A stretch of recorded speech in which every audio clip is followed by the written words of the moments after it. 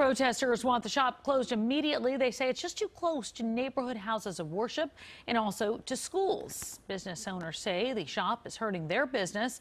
According to the city, adult establishments need to be at least 500 feet away from schools and houses of worship. Yeah, but Romantic Depot, which is around the corner from a middle school, a church, as well as a mosque, is considered a retail store by the Department of Buildings.